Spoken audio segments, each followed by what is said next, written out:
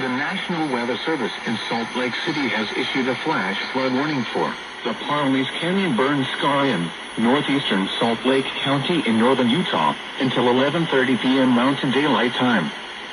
At 9.59 p.m. Mountain Daylight Time, Doppler radar indicated thunderstorms producing heavy rain over the Parleys Canyon Burn Scar. Up to 0.5 inches of rain have fallen and additional rainfall is expected. Flash flooding is ongoing or expected to begin shortly. Excessive rainfall over the burn scar will result in debris flow moving through the Parleys Canyon burn scar. The debris flow can consist of rock, mud, vegetation, and other loose materials. Hazard, life-threatening flash flooding. Thunderstorms producing flash flooding in and around the Parleys Canyon burn scar. Source, radar.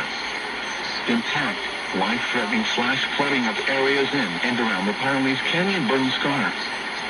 Some locations that will experience flash flooding include mainly rural areas of northeastern Salt Lake County. This includes the following highways. Interstate 80 in Utah, the three-mile markers 137 and 138. Turn around.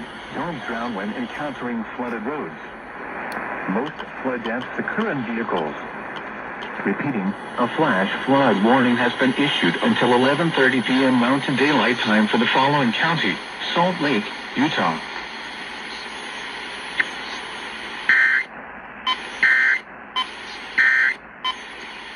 About three things that you can do